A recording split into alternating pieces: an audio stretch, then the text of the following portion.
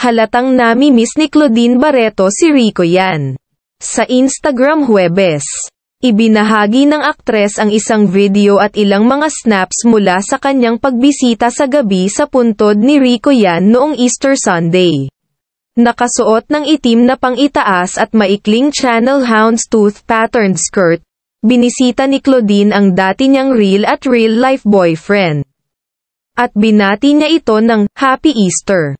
Napansin niya ang nag-iisang candy na inilagay sa ibabaw ng libingan, bago yumuko para hawakan ang lapida nito, at marahil ay nagdasal. Panay ang post ni Claudine tungkol kay Rico yan sa kanyang Instagram. Noong nakaraang buwan, ipinagdiwang niya ang magiging ikaapat na putwalo na kaarawan niya gamit ang isang cake.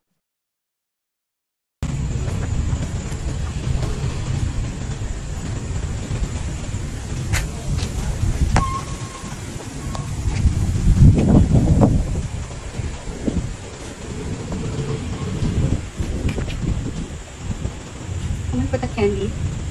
Really? Yeah. Happy Easter.